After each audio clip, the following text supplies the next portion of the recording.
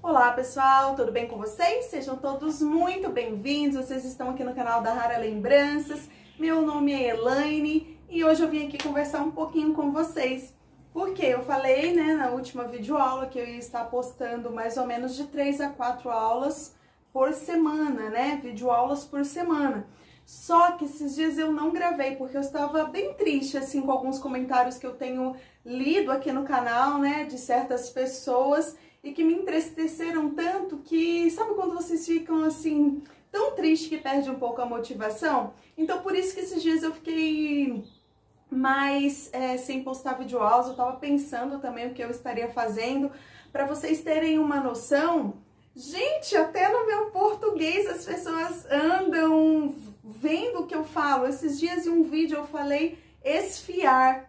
Aí teve uma pessoa que falou assim, viu? Eu sou professora de português e estou assistindo os seus vídeos. E eu queria falar para você, deixar claro que não é esfiar, é desfiar. Gente, sério, eu desacreditei. Eu falei, uau! Ali, quando eu tô trabalhando, tô explicando, eu tenho que fazer tantas coisas ao mesmo tempo. Eu tenho, eu tenho que me concentrar no que eu tô fazendo, no que eu estou fazendo ali, no que eu estou falando e ainda se eu realmente estou mostrando da maneira correta para todos vocês. E eu não sou letrada, não sou formada em línguas, né? É, muitas das vezes, às vezes vai acontecer de eu acabar falando alguma palavra ou outra errada, né?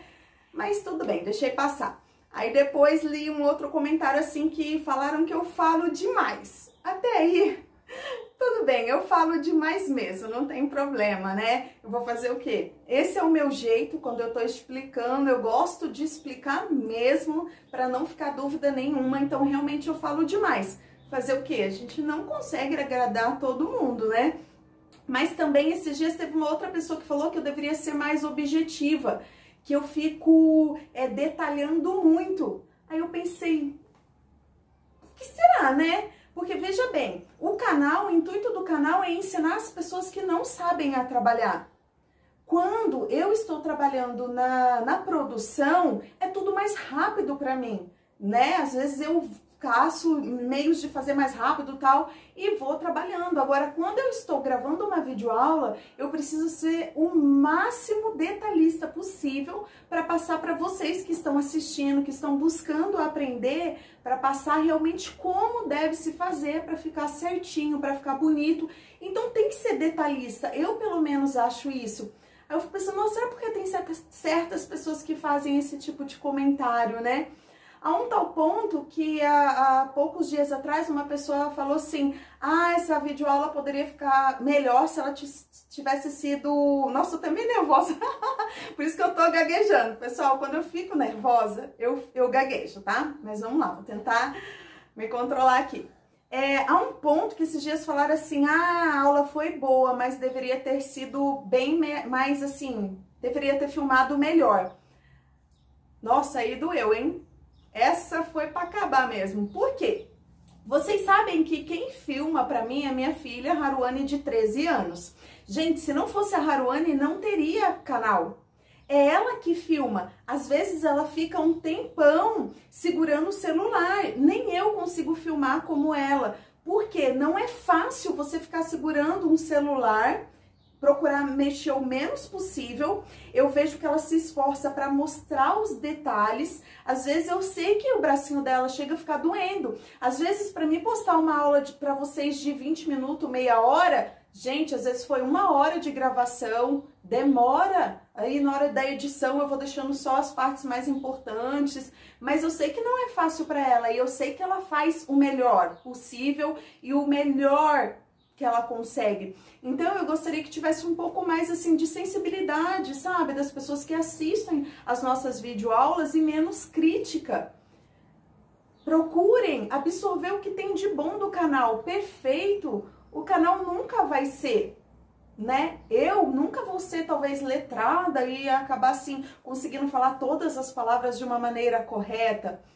Nunca também é o que eu sempre falo, eu não sou conhecedora de todas as coisas, mas nossa, tem certas críticas que nos deixam tristes, que me faz parar e pensar e falar assim, nossa, será que tá valendo a pena? Né? A minha motivação é, é compartilhar, é ensinar. E às vezes a gente lê essas coisas, dá uma tristeza, porque, gente, não é fácil gravar as videoaulas. Tem dias que a minha produção fica atrasada, porque todo mundo precisa ficar em silêncio, não dá para ter barulho. Eu evito o máximo possível da pistola estar tá funcionando na hora de videoaulas, né? É um tempo que eu tiro ali, uma, duas horas, que eu poderia estar tá produzindo, que eu poderia estar tá revestindo esse tempo a meu benefício. E eu estou abrindo mão para quê? Para abençoar outras pessoas, para ajudar aqueles que querem começar a trabalhar com o MDF. E realmente isso tem feito, assim, é, eu tenho ficado feliz por isso, sabe? Mas ultimamente eu ando lendo certos comentários que têm me entristecido demais. E esse da filmagem foi pra acabar, porque, ó, pode falar de mim, eu não ligo. Fala que eu falo demais, fala que eu falei errado, é, eu sou detalhista, pode falar o que for. Mas, nossa, quando filmagem, aí eu fiquei triste demais, demais, porque eu falo assim, nossa, eu sei o quanto a minha filha se esforça pra estar tá, é, junto comigo mostrando, sabe? Então eu peço, né, a vocês, eu sei que não é a maioria, eu venho aqui não reclamar com a maioria, porque eu sei que grande parte de vocês tem é, gostado do conteúdo, comentam. Eu sei que o conteúdo tem abençoado a vida de muitas pessoas, tem muitas pessoas conseguindo trabalhar com MDF, já tá conseguindo ter assim, um lucro, né? Uma renda financeira com esse trabalho. Então eu fico feliz por isso. Mas eu precisava esclarecer o porquê que esses dias eu fiquei um pouco sumida em respeito a vocês inscritos que têm tanto carinho comigo, com a minha filha, né? E para as pessoas que às vezes fazem comentários mais maldosos ou tristes que pensem um pouquinho mais. Porque veja bem, se a filmagem ela fosse feita em um suporte para mostrar de repente de cima, ou é, não ficar tremendo, ou não acontecer certas coisas, a qualidade da nossa videoaula não seria da mesma forma que é. Por quê? A maioria das pessoas falam que gostam das nossas videoaulas porque consegue ver cada detalhe, os cantinhos. A minha filha mostra. E, gente, é tão dela essa desenvoltura de ir mostrando conforme eu vou fazendo.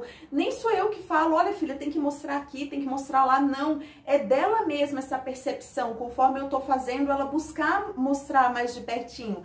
Agora, se fosse para me pôr em um suporte, não seria desse jeito. Seria muito mais difícil, né, para vocês verem os detalhes e o acabamento, como deve se fazer.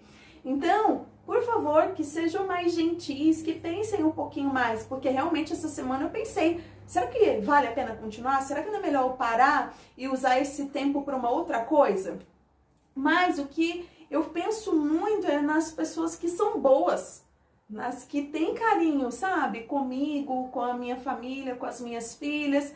E por vocês eu não vou parar. Por vocês, sério, gente.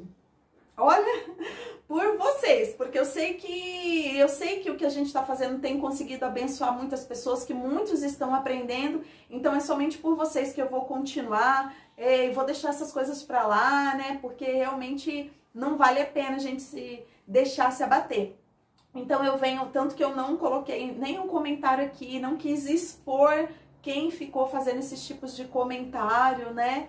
É, meu desejo não é isso, não é ridicularizar ninguém, mas é só deixar aqui, né, a, a minha explicação por que, que eu não filmei esses dias, porque eu não postei videoaulas e realmente eu estava triste, né? Eu sou uma pessoa muito sincera, muito transparente, quem me conhece sabe, né? E eu não ia conseguir gravar estando tão triste. Então fica aqui, tá, o meu desabafo e o esclarecimento, mas pode deixar, né, que a partir já dessa próxima semana eu vou voltar a gravar as videoaulas, vou voltar sim a postar essas videoaulas por vocês que têm um carinho tão grande. Então, para vocês que têm esse carinho tão grande, meu muito obrigada, muito obrigada por estar sempre aí comentando, muito obrigada, né, é, pelas bênçãos, né, pelas palavras de bênçãos que vocês falam sobre a minha vida, sobre o meu trabalho, sobre a minha família. Muito obrigada mesmo. É para vocês, assim, o meu agradecimento e a minha prestação de contas porque que esses dias eu não postei os vídeos, tá bom? Então, é isso, pessoal. Mais um beijo grande para todos vocês. Fiquem todos com Deus. Desculpa aí do desabafo, mas eu precisava conversar com vocês para deixar as coisas mais claras, né? e a partir daí iniciar novamente as videoaulas, tá bom? Então, beijo, pessoal. Tchau!